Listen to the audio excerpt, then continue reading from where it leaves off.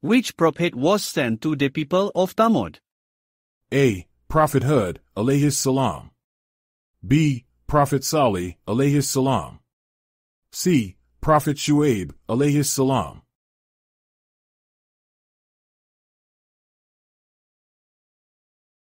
The answer is B. Prophet Saleh, alayhi salam.